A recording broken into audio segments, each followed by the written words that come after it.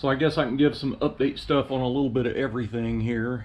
Um, so Steve went ahead and ordered an actual Easy Wire 21 circuit harness from EasyWire. Uh, it hasn't come in yet.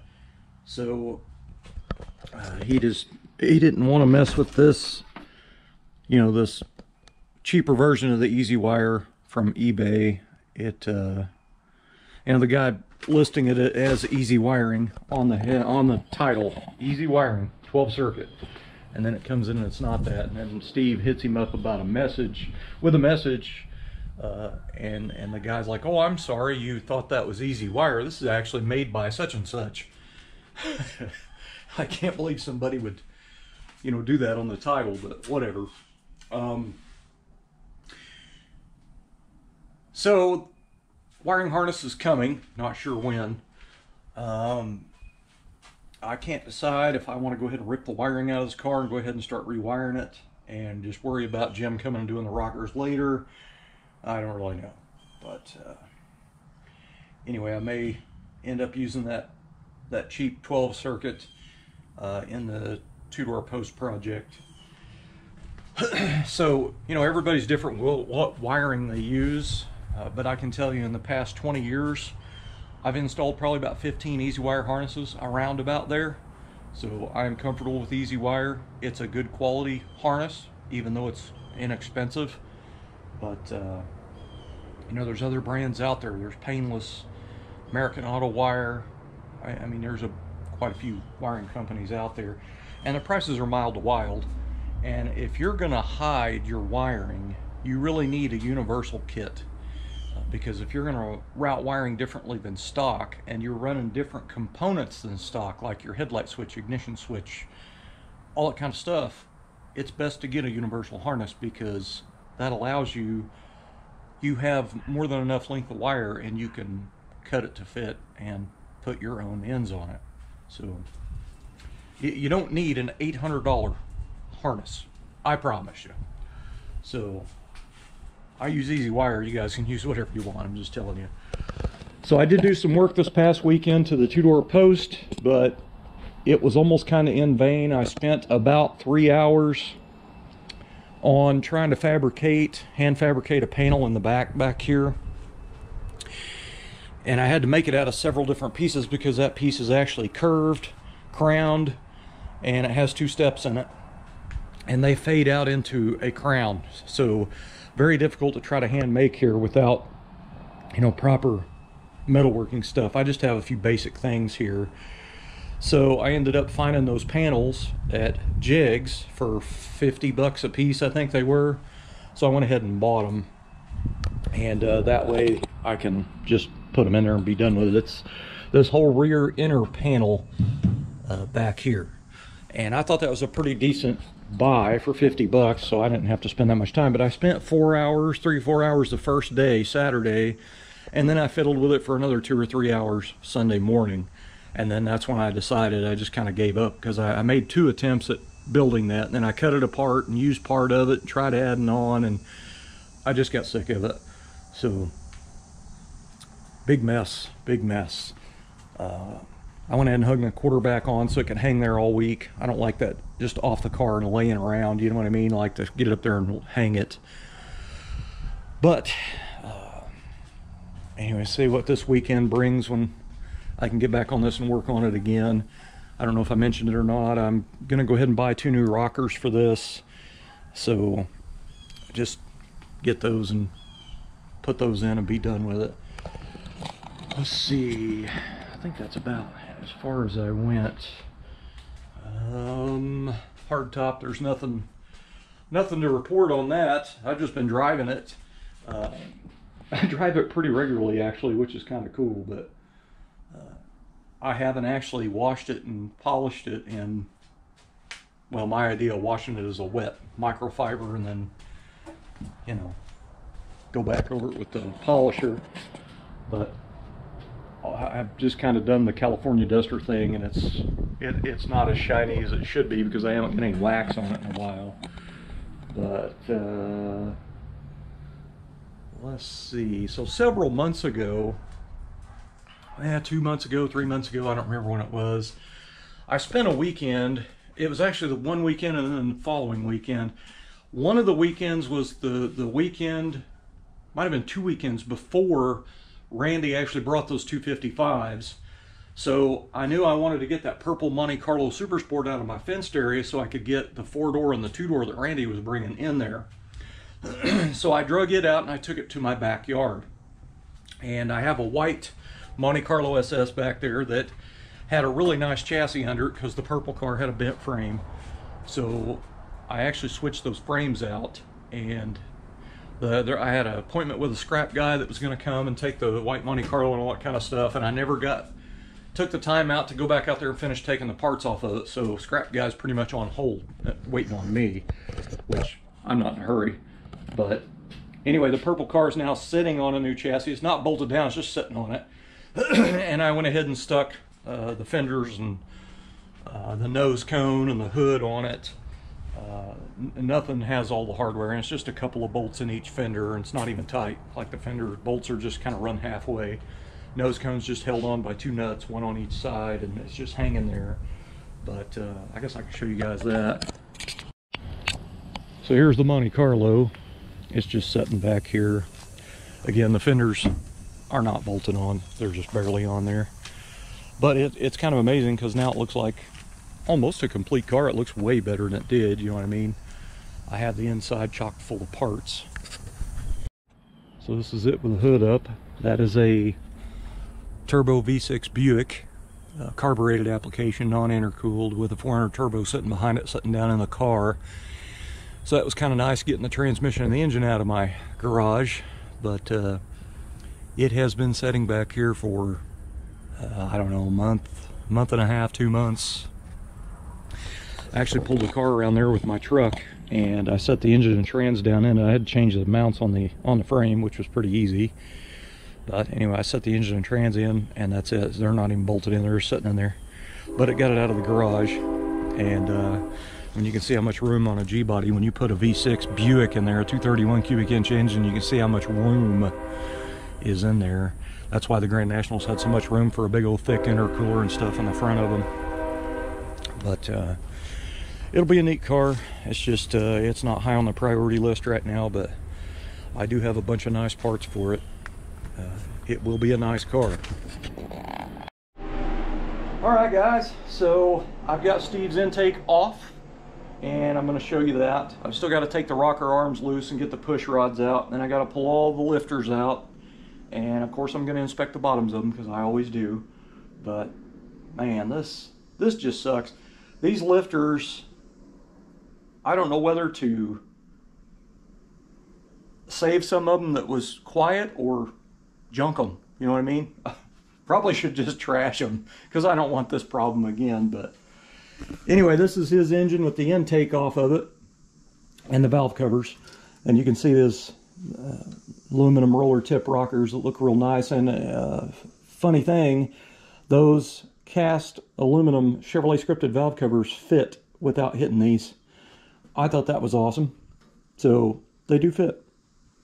So Anyway, these have these are poly locks, so they have a little Allen set screw down in them. So I've got to loosen off the Allen set screw and then take the nuts. And I, I don't want to take them all the way off. I just want to loosen them up enough to turn them to get the push rods out. But anyway, that's that's kind of where it's at.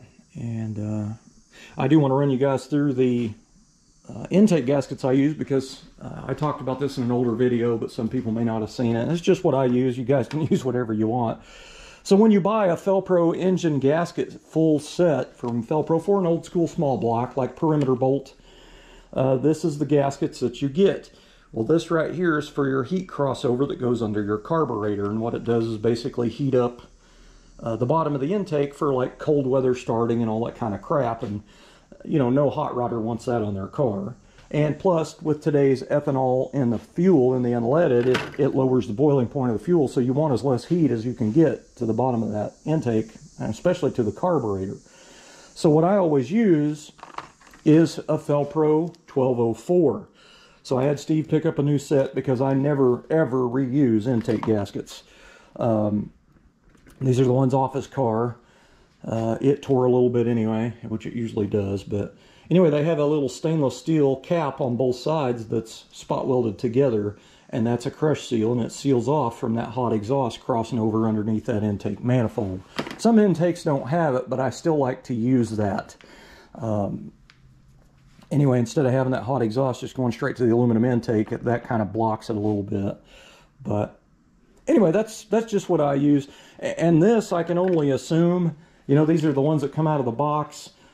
I'm assuming that these are, you know, for even the center bolt stuff, uh, pre-Vortec, because even these 1204s, you can see how big the hole is right here, and then how small those are.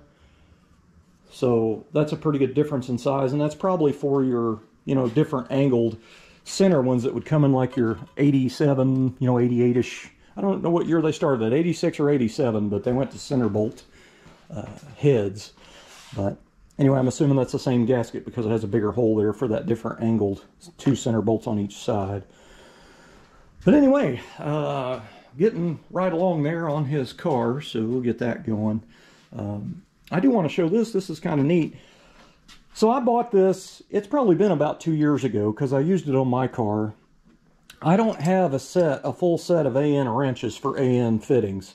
You know, AN fittings are aluminum and uh, generally, but uh, anyway, they have a color on them. And if you use a regular wrench, it'll chew up the color on it, the, the coating. So you're supposed to use these AN wrenches and it doesn't tear up the color or gall the aluminum up on your fittings. But this is the only AN wrench I have. It's a 4 on one end and a 6 on the other. So I ended up, instead of buying a full set of wrenches, which was pretty expensive, I bought the crescent wrench style. And I got to tell you, it, it, actually is pretty nice. And it's not as sloppy as I figured it would be. But this thing works pretty good. And it was like 12 bucks on uh, eBay, I think is where I got that, like two years ago. Anyway, I just thought I'd show that. It's... Uh, you know, for guys like me that's on a budget, you know, you don't you don't want to spend a hundred and something bucks on an AN wrench set or two hundred, whatever it is. You can get one of those and rock and roll. You do have to have two wrenches though, but you get two of them if anything. You know what I mean?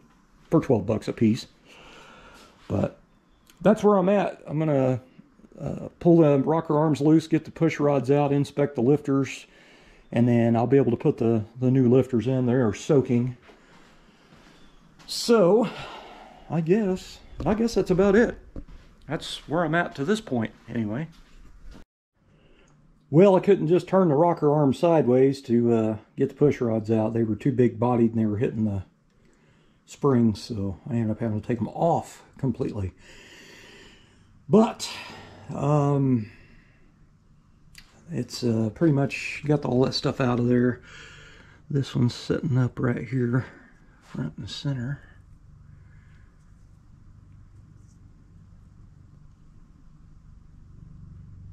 you can tell it was spinning. It's got a little circle thing going on in the middle of it there.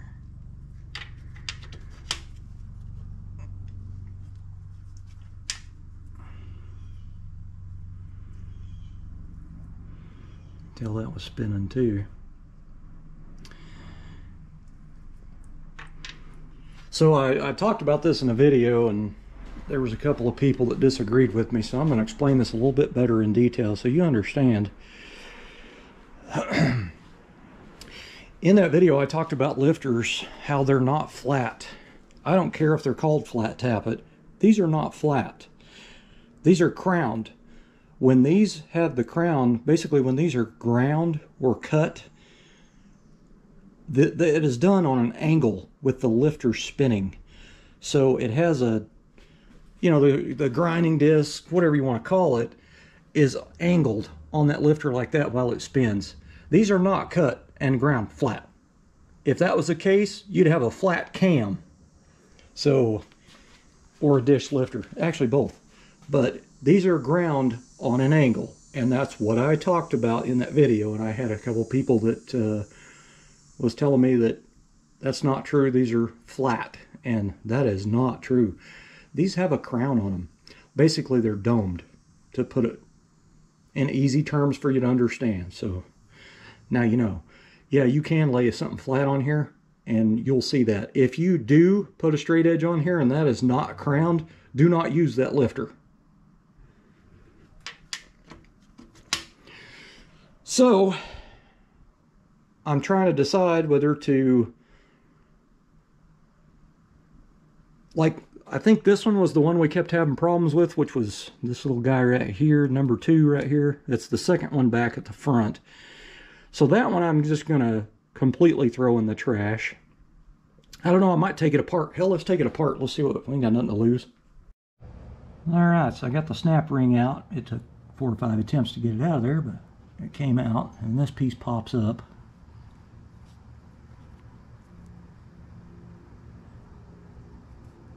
Don't see any damage. But I, have had this happen before, and I took the lifter apart and I couldn't see anything. So pretty much what happens with the, if you end up with a lifter, hydraulic flat tappet lifter like in a small block, and you got one that is still making noise and you're tightening it down, it's still making noise, you can put a million miles on that engine. It ain't going to fix it.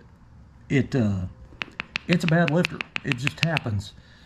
So it's best to replace it. And I really don't know what the deal is. And I'll tell you something else, and this is just from my personal experience from building small block Chevys most of my life. Um, to pump up a lifter, all you do is prime the engine, period. If you're getting oil out of that rocker, that lifter is primed, I'm telling you. So you don't need to sit there with some kind of tool in oil and try to push that down. That ain't gonna work. So you put that in the engine and you prime that oil pump with a drill and those rockers start oiling, that lifter's primed and pumped up. I promise you. Well, that ain't coming out of there. So there's problem number one right there. I mean, these fit pretty, pretty snug, but that should come out of there, and it's not. So that is uh, probably the reason right there. I took a whole set apart one time that I had because they sat for a long time and the uh, they were kind of surface rusted here and there and I took every single one of them apart and cleaned each individual component and put all 16 back together and put them in my truck. So just from doing 16 of them at one time, I never had one that was stuck like that. I mean, this is a tight fit, don't get me wrong, but that, that should come out of there. That should walk its way out of there, and it ain't doing it. And of course, I'm one-handed too, so. Yeah, that should have, that should have come out of there, guys. So that, I'm actually wondering about this lifter because I have never seen two ribs on a lifter and I've never seen a ridge cut in it like that on a comp lifter. I've got an engine sitting over there with comp lifters in it, comp cam and lifters. So I need to go pull one of them out and see if that's, unless comp changed or something. These might just be some, you know, overseas replacement lifters or something. Maybe they were in a comp box or something. I don't know. Jim said they were comp. See, I can move that. It'll move up and down. Like that's moving up and down, but it won't come out. That should fall out of there. That's weird.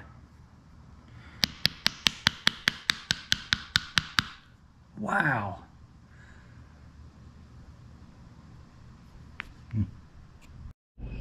So this is an engine I have here that is, uh, it's got a comp cam lifter kit in it. Of course, none of them sticking up there enough for me to get a hold of.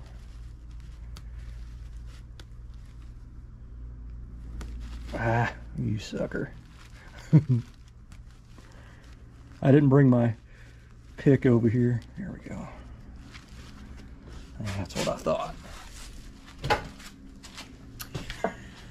Now that is a 10 year old comp cam and lifter kit. So there, they, maybe they just changed. I don't know, but I know this is comp because it came in a comp box and the cam too, but that is the one out of Steve's car. And if it is a comp, it is definitely a different supplier because it has two ribs in it and a notch cut in it right here. So That's an interesting notation. And they could have changed it. I mean, it's been 10 years, who knows? But that one was spinning too. Yeah, if you ever notice on the bottom when you pull brand new lifters out, you'll see they have a swirly look to them, and that's because they're ground at an angle. So, anyway, these are not supposed to be flat, period. They have a crown, a dome on them, basically. And they do always chamfer this edge a little bit, and it doesn't matter uh, if it was chamfered or not anyway, because the cam never gets out there on that edge. All right, so I went in there on the internet, done a little research, and found out that these are most likely comp lifters. Uh, these are Comp's mainline hydraulic lifter. They have just a Comp hydraulic flat tappet lifter for a small block Chevy. Has the two raised ribs and a groove cut right here. Looks just like them. And then they have Comp High Energy, which doesn't have these deals on it. So that's what I have in that other engine probably is the high energy ones.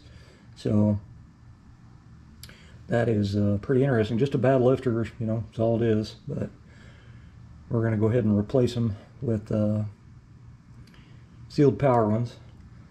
So that'll pretty much, hopefully, take care of the issue. but I need to get the rest of these out of here. I don't know whether to throw them away or... Uh, I don't know which one on this side was bad, but I do know this number two one was bad. And that's the one I took apart because it's definitely going in the trash. I'm not messing with that thing. Um, but these others were okay, so I think I might save those for in case I scab together an old small block for something. So, ain't to hurt to try them. So, save them for later, we'll see. Thanks for watching.